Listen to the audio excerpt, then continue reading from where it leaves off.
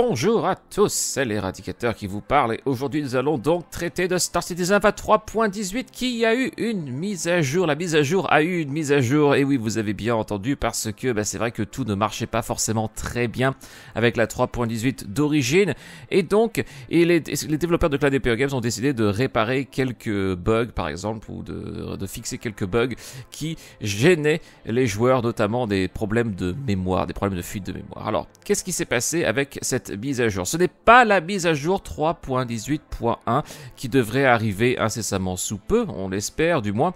Non, ici c'est tout simplement, euh, tout d'abord, euh, les développeurs ont tenté de résoudre le problème qui nous empêchait de sortir des sièges de pilotage. C'est un gros problème, des fois, il, alors, il y avait un petit, une solution pour pouvoir s'en sortir, c'était d'appuyer sur les touches Y, U, I et R, mais c'est vrai que ça ne marchait pas souvent et c'était très ennuyant.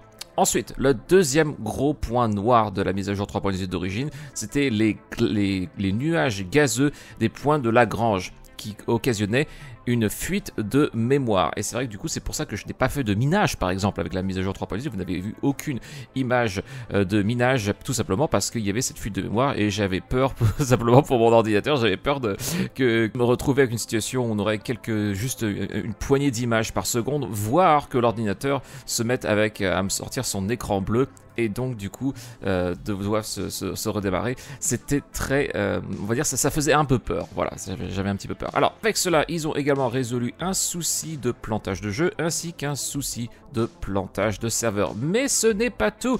Nous avons également des changements en ce qui concerne les terminaux de vaisseau. Gros changement ici par rapport à ce qui, avait, euh, à ce qui nous avait été proposé par Clan Pyramid Game jusqu'à présent. Ces changements n'arrivent pas avec la petite mise à jour qui nous a été proposée il y a quelques heures. Hein. Ça devrait arriver plus tard, peut-être avec la 3.18.1.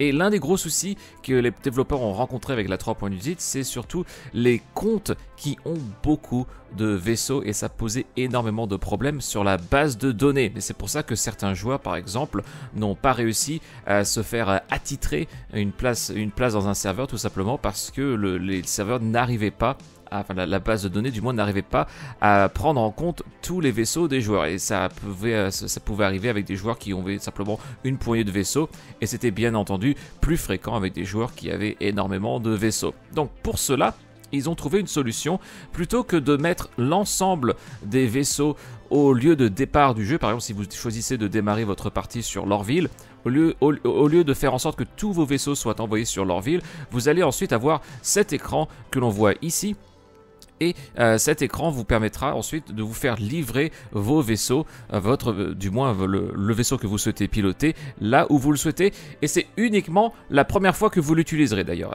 Une fois ensuite que vous, souhaitez utiliser ce vaisseau, il sera en route. Il faudra attendre un petit temps. Alors Zalo ici sur Spectrum nous dit qu'il faudra attendre environ 20 secondes et vous pourrez ensuite utiliser votre vaisseau qui sera ensuite disponible là où vous l'aurez où vous l'aurez fait livrer. Par exemple, si vous si vous démarrez à Lorville, mais que vous allez sur Portolissar et que vous n'avez jamais utilisé euh, le Gladius, par exemple, que l'on voit sur cette image, eh bien, vous pourrez euh, le faire livrer sur euh, Portolissar et l'utiliser. Par contre, si vous retournez sur Lorville, le Gladius sera toujours à Portolissar si vous, si vous l'avez laissé à Portolissar. Voilà. Donc ça, c'est un, c'est le changement qui va arriver incessamment sous peu en ce qui concerne les vaisseaux et on espère que cela devrait permettre du moins de réparer certaines, certains problèmes ou de, de résoudre certains problèmes que l'on a pu rencontrer ces derniers jours en ce qui concerne la mise à jour 3.18 qui euh, pour certains d'ailleurs n'ont toujours pas réussi à rentrer ou à tester euh, le jeu à cause justement de ces problèmes d'attitrage. Donc voilà, les dernières nouvelles en ce qui concerne la mise à jour 3.18 en espérant que, ben, que ce soit qu'il y ait une issue positive à tous ces soucis qui, euh, c'est vrai, ne sont pas forcément euh, très sympas en ce qui concerne une mise à jour qui a été tant attendue par le joueur depuis si longtemps. Allez, c'est tout pour aujourd'hui. Comme d'habitude, si cette vidéo vous a plu, n'hésitez pas à me faire savoir avec un petit pouce levé et avec un petit abonnement pour toujours plus de contenu Star Citizen en français. Ce fut l'éradicateur. Passez une bonne journée. Salut à tous.